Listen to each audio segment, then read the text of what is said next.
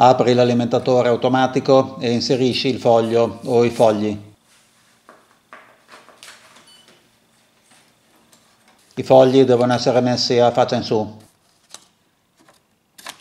Regola i supporti del foglio. Oppure metti il foglio da scansionare sul vetro dello scanner, è uguale. In questo caso il foglio deve essere messo a faccia in giù.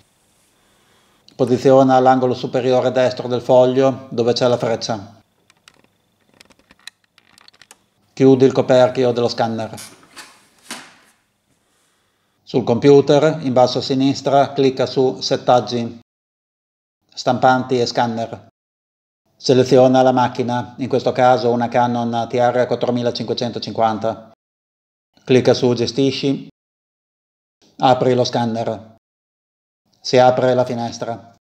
Se ha inserito i fogli nell'alimentatore ADF, come in questo caso, seleziona alimentatore feeder. Se li hai messi nel vetro dello scanner, seleziona l'altra opzione. Scegli il formato del file, JPEG, PDF, eccetera.